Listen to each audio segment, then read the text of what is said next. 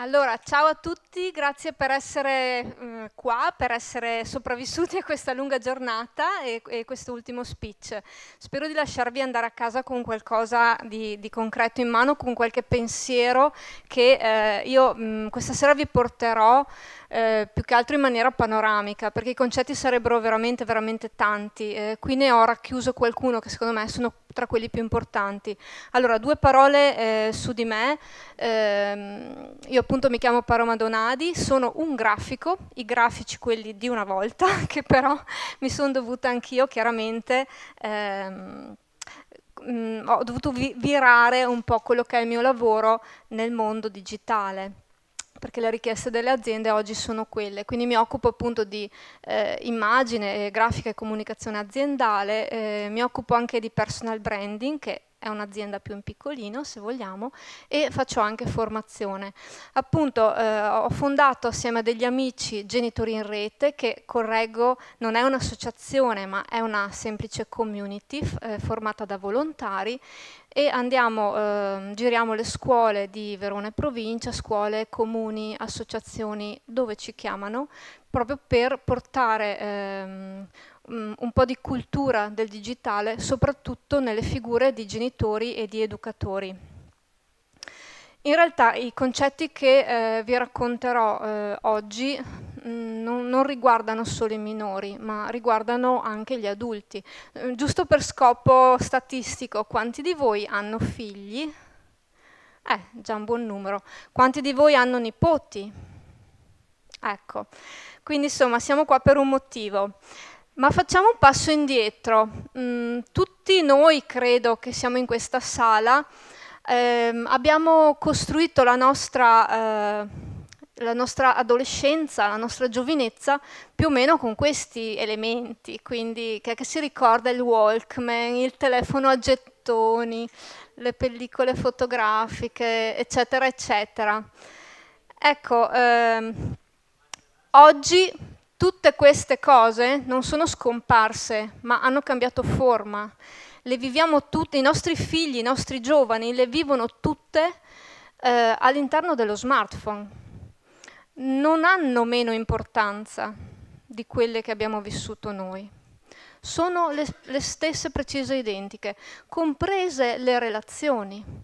Noi un tempo ci incontravamo con gli amici magari nella piazza del paese, nel, nei giardinetti.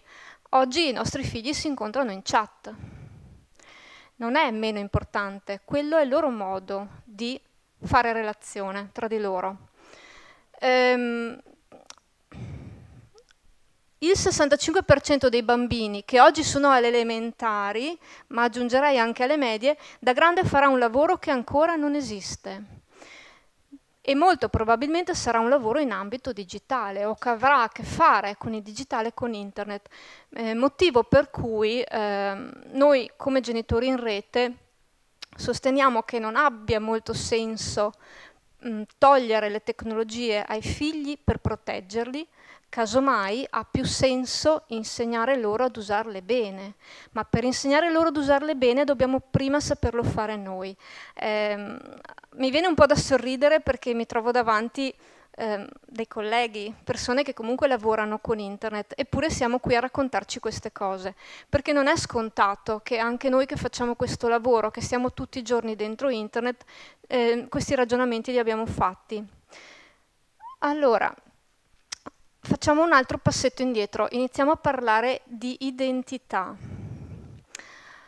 Ecco, purtroppo qui è un po' bruciato, eh, c'erano due bei cerchi azzurri, ma vabbè, non importa. Allora, noi abbiamo un'identità eh, reale, nella vita reale, e un'identità digitale. Che cos'è la nostra identità digitale? A parte lo speed, che è questo essere un po' strano, ma eh, tutto quello che noi eh, immettiamo in rete su di noi, quindi social, eh, blog, forum, siti, eccetera, eccetera, vanno a creare la nostra identità digitale o nel digitale, le tracce che lasciamo di noi in rete.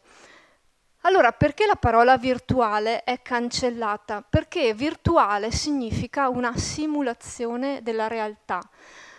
Ma eh, la nostra eh, vita, diciamo, nel mondo digitale non è una simulazione, è vita vera.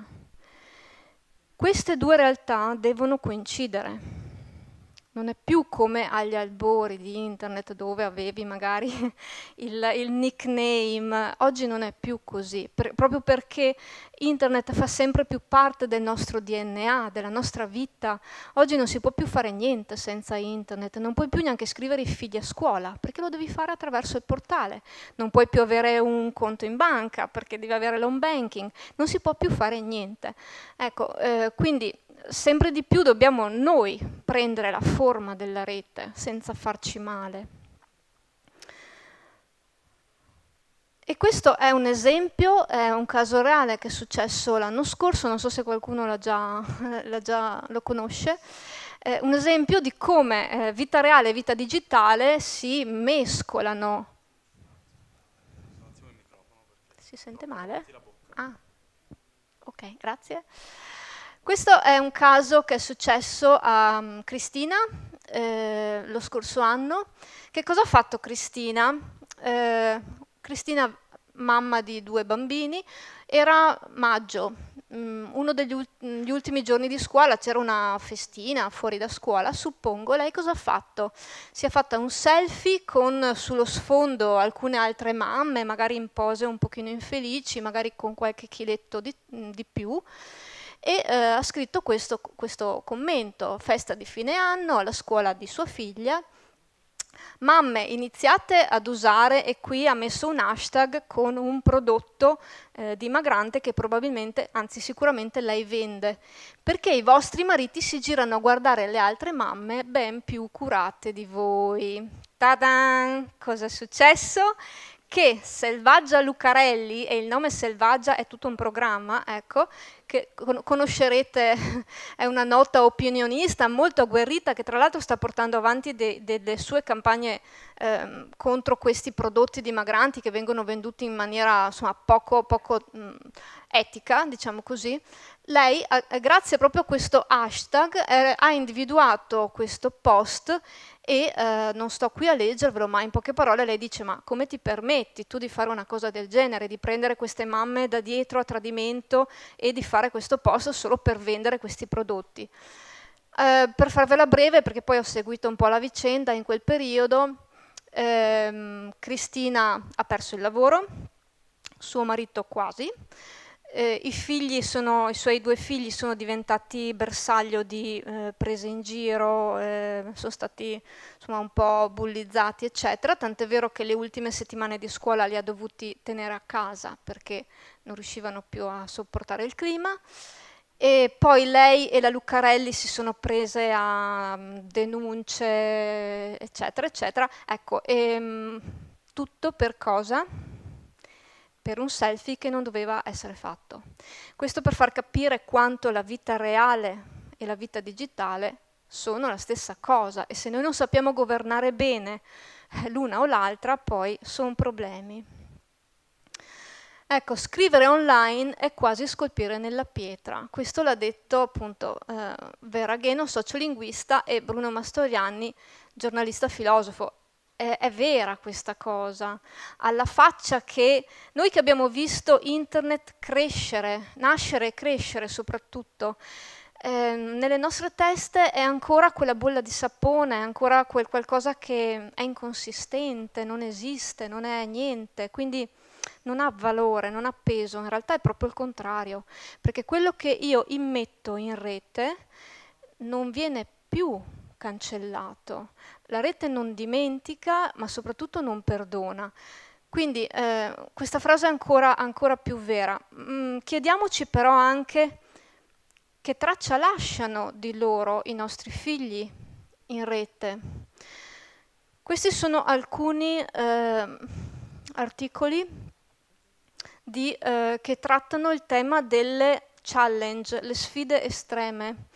Allora, mm, vediamo a partire da destra, eh, adolescenti che masticano capsule di detersivo. Ci sono stati tanti casi di avvelenamenti in ospedale.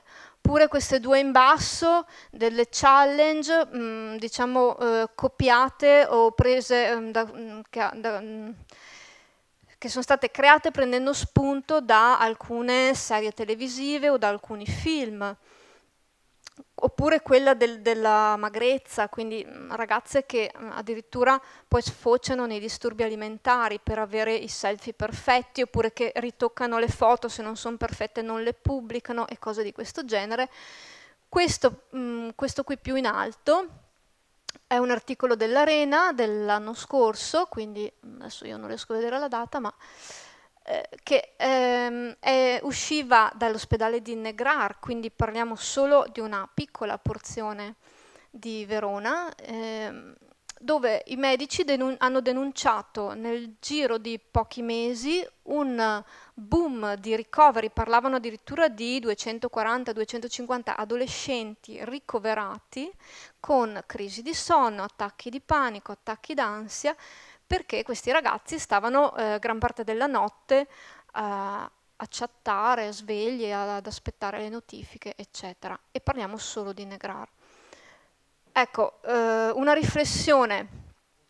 Perché fanno queste cose?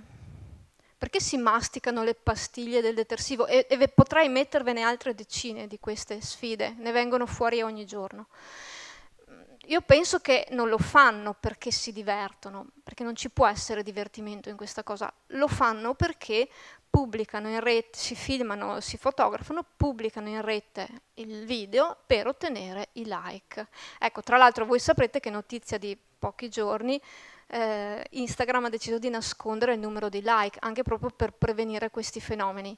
Sarà sufficiente quello? Sicuramente no, forse un passettino, certo è che non possiamo abbassare la guardia. Comunque, eh, il fatto di eh, cercare l'approvazione dei propri pari attraverso queste cose è triste, è triste. Io adesso non voglio giudicare nessuno e non ho sicuramente eh, la ricetta magica, però come genitori, come educatori ci possiamo chiedere che cosa possiamo fare cosa possiamo dare ai nostri figli per riempire le loro vite di un qualcosa di positivo, di costruttivo, perché lasciare un vuoto vuol dire lasciare spazio alla rete di riempirla con punto di domanda, con quello che capita.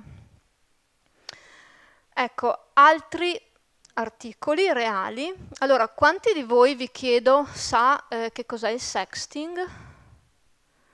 Beh, siamo già messi bene, dai. A volte ho platee di decine, de, decine di genitori di cui nessuno sa che cos'è il sexting. Dunque, per chi non lo sapesse, eh, il sexting è una pratica molto in voga oggi, purtroppo, soprattutto tra adolescenti, ma anche giovanissimi, si parla già di 11-12 anni. Eh, la pratica di scambiarsi materiale, video, foto, eh, ma anche vocali o messaggi di testo a sfondo sessuale.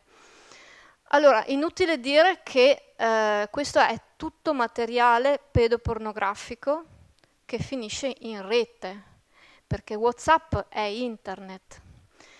E, ehm, e come materiale pedopornografico è illegale, anche se è creato e detenuto da minori.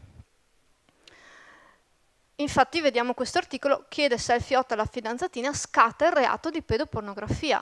Ma facciamo un passo ancora avanti. Diffonde la foto di una coetanea tredicenne a seno nudo, denunciati i genitori. Eh, questa è una cosa importante. Io sento tanti genitori che mi dicono, beh beh, ci penserà lui a quello che combinerete. No, no, la responsabilità è tua. E, ma soprattutto questa è una notizia più recente, vediamo giugno di quest'anno, eh, un, un 48enne di Milano ha per tre anni eh, abusato di tre ragazzine, eh, ragazzine dai 13 ai 16 anni. Allora, io ho un figlio di 13, è più alto di me, ha il 42 di scarpe, a vederlo dici, cavolo, è un uomo, col fischio che è un uomo, nel senso sono ancora bambini. Queste ragazzine, io poi mi sono letta tutti i vari articoli, dai 13 ai 16 anni, quindi vuol dire che tre anni della vita di queste tre ragazzine sono stati eh, rubati eh, da questo personaggio e, e, e, loro per tre anni non sono state in grado di uscire da questo tunnel. Questo ci deve far riflettere, perché eh, allora se non è, è vero che non è giusto il controllo, perché i figli poi il controllo cercheranno sempre di eluderlo, con grande piacere anche, suppongo. Però eh, accompagnarli in questo percorso, quello, quello è nostro compito farlo. Um, se non siamo genitori, però magari siamo zii, siamo educatori, siamo amici, eh, abbiamo sempre attorno a noi, potremmo avere dei minori, quindi è importante avere anche un occhio di, di riguardo verso quello che fanno in rete. Ecco, altre tre, eh, altri tre esempi reali, partiamo da qui, questo è un caso sempre dell'anno scorso mi sembra, sì, settembre 2018, Igor, ne aveva parlato ITG ampiamente, muore soffocato a 14 anni da una sfida estrema che si chiamava blackout, consisteva all'epoca, eh, era di moda perché poi diventano virali in pochissime ore o giorni queste sfide, consisteva nello stringersi il, il collo in modo da bloccare l'afflusso di sangue al cervello e indurre uno svenimento che doveva durare pochi secondi, eh, però purtroppo ci sono stati anche dei casi in cui eh, i, i, ragazzi non, so, non, si sono più svegliati. Igor è stato uno di quelli. Anche qui io mi sono letta poi delle interviste del padre. Eh, Igor eh, non era un disagiato, non era un depresso, eh, era un ragazzo d'oro, era un ragazzo eh, con ottimi voti a scuola, pieno di amici, pieno di vita, andava ad arrampicare, faceva sport, per dire che queste cose non succedono solo a, ma sì, ma tanto a mio figlio non succede perché mio figlio è uno in gamba, è uno bravo. No, no, po- possono succedere a chiunque perché ehm, l'inesperienza, l'ingenuità di questa età è, è, è trasversale a tutti i ragazzi. Il giorno dopo, se non due giorni dopo, è successa anche questa 15 anni, sono andati su un gruppo di due o tre amici, sono andati sul tetto di un centro commerciale per scattarsi questi selfie in altezza e quindi sempre per il meccanismo che vi dicevo prima. Li hanno scoperti le guardie, scappando uno di questi è caduto giù in un buco e purtroppo anche qui eh, c'è stato un, un decesso ma eh, anche nella nostra piccola Verona, questo è un articolo di pochissimo tempo fa, recentissimo, dove una ragazza è salita su un treno sempre per farsi un selfie estremo e ha toccato i fili dell'alta tensione, gravissima. Poi io purtroppo non ho più avuto notizie, spero che insomma si sia ripresa. Ehm, ma sono proprio tutti così, sti ragazzi questo è un bellissimo caso. Cos'è successo? L'attrice famosissima eh, Gwyneth Paltrow si è fatta questa foto, è andata a sciare con la figlia, ha fatto questa foto e l'ha postata su Instagram. La figlia si è arrabbiata tantissimo, ha detto mamma non puoi postare la mia foto senza il mio consenso. Te l'ho detto un sacco di volte, smettila. Una ragazza di 14 anni che insegna alla madre. La cosa che mi fa un po' tristezza è che nonostante questo la, la, la mamma non ha cancellato la foto. Vedete che a volte non sono i ragazzi il problema, il problema siamo noi. Loro ci sono nati dentro internet, dentro i social. Eh, noi invece la, li abbiamo un po' subiti, ce li siamo trovati addosso senza che nessuno ci insegnasse ad utilizzarli. Eh, questo perché eh, appunto quando le serate che andiamo come genitori in rete andiamo a fare nelle scuole la, l'abbiamo proprio intitolata eh, manuale di istruzioni, perché quel manuale di istruzioni che nessuno ha mai creato dobbiamo essere noi, un manuale vivente. E come ci si comporta invece con i bambini più piccoli? Oggi c'è anche uno dei fenomeni che c'è oggi è questo, quello dei baby influencer o delle family influencer, eh, senza anche qui voler um, tirar fuori giudizi che non spetta a me, mi piacerebbe solo chiedere a, a questi bambini se hanno scelto loro di fare questa cosa. Io credo di no. Di stare ore sotto i riflettori, a farsi truccare, a farsi fotografare. Questo per me è lavoro minorile che dovrebbe essere proibito.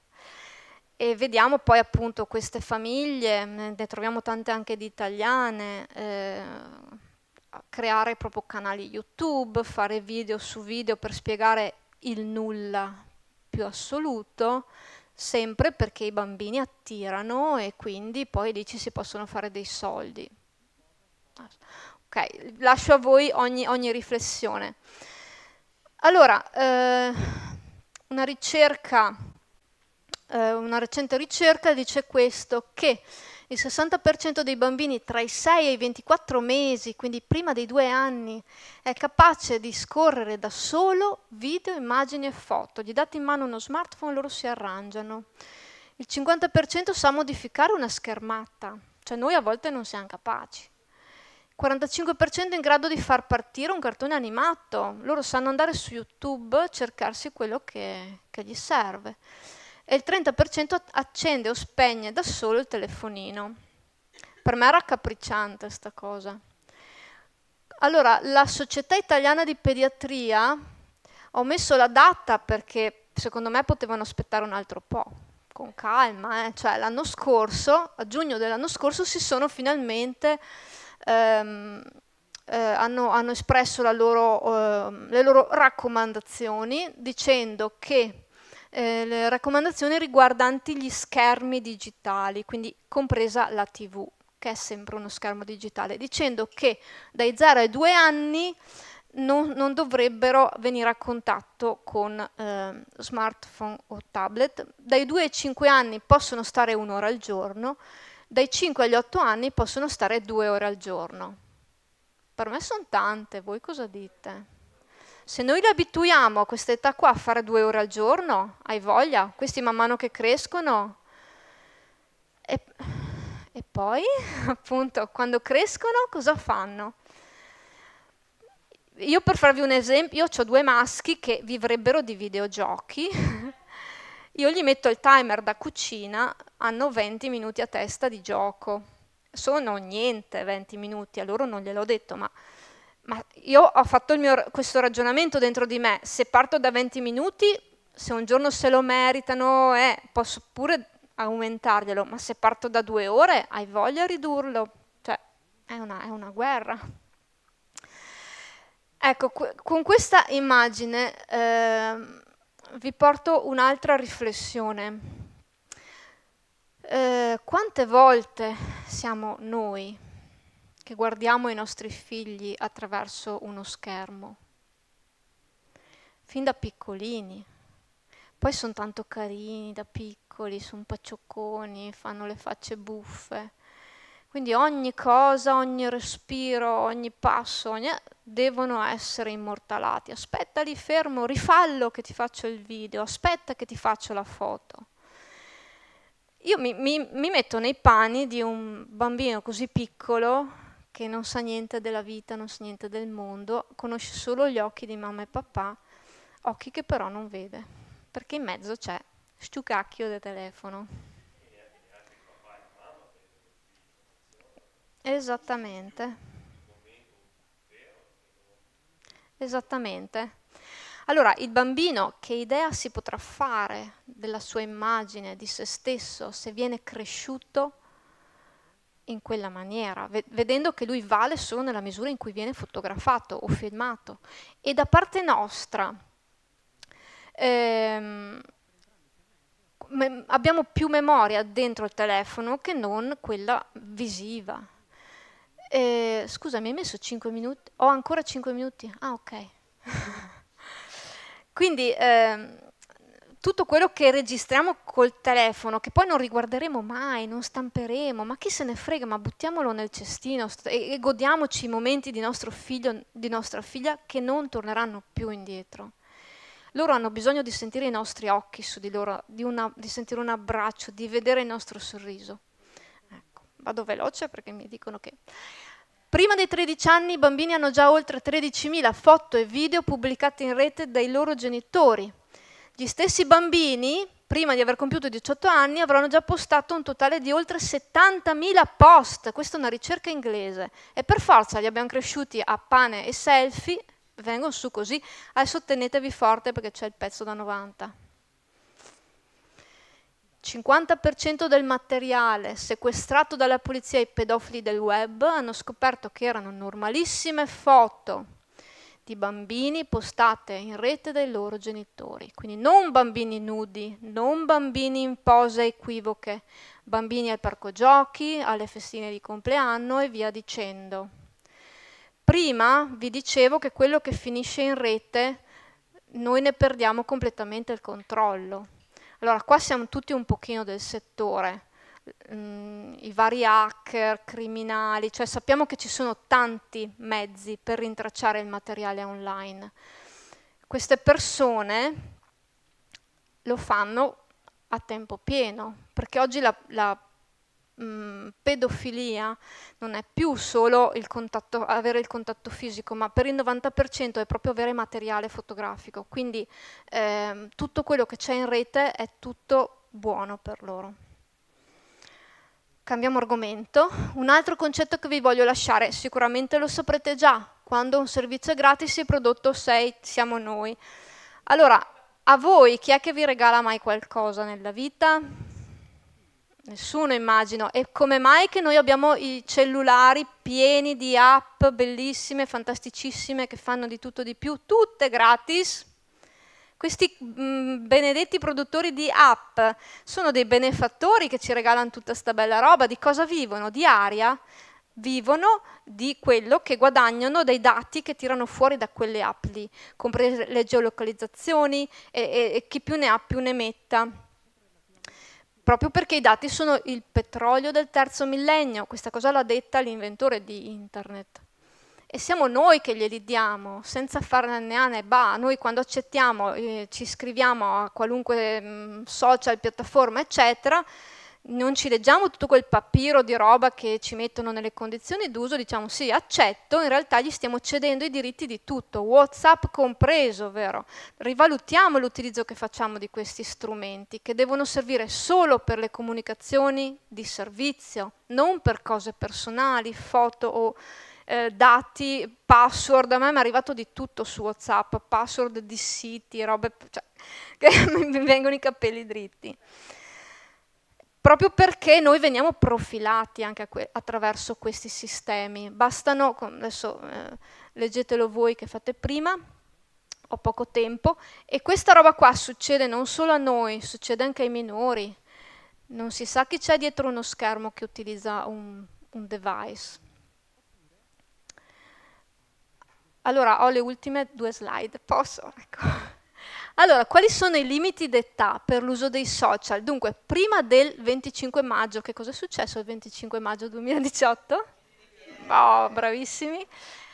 Prima di quella fatidica data erano i 13 anni, sono ancora i 13 anni in alcuni altri stati, ma non il nostro. Poi il GDPR ha alzato questo limite portandolo a 16 anni, dando facoltà ad ogni singolo Stato europeo di abbassare questo limite non sotto però i 13. In Italia cosa è successo? È stato stabilito che questo limite sono 14 anni. Quindi eh, sotto, possiamo dire che sotto i 13 anni non è possibile né iscriversi né utilizzare i social network dai 13 ai 14 anni il consenso al trattamento dei dati, perché si tratta di questo, vero, non di altro, può essere rilasciato solo dai genitori, mentre dai 14 anni, che è la vera età della maturità digitale, che dovrebbe essere festeggiato il quattordicesimo anno, non il diciottesimo, il minore può rilasciare autonomamente il consenso al trattamento dei, dei propri dati. Inoltre eh, è anche imputabile penalmente, cioè mica non sono scherzi questi qua, mentre fino ai 18 anni i genitori sono sempre imputabili civilmente. Ecco perché noi genitori dobbiamo sapere cosa combinano in rete i nostri figli. Non con il controllo da falchi, ma con il dialogo. Il dialogo è l'unica cosa, un dialogo aperto, sincero, parlategli. Le notizie di cronaca che vedete passare, commentatele assieme a loro e se vostro figlio vi dice, mamma guarda questo gamer, che figo che è, voi non ditegli, ma va là è un cretino. Voi vi sedete lì a fianco a lui e il video del gamer lo guardate, perché quello è l'unico modo per imparare il loro linguaggio e, e dialogare assieme a loro. Ecco che se loro capiscono che noi sappiamo qualcosa di tutto questo, è più facile che poi un domani ci verranno a raccontare o a confidare se avranno bisogno di un consiglio o di un aiuto. Quindi appunto occhi e cuore aperti. Io ho finito. Grazie. Grazie a voi.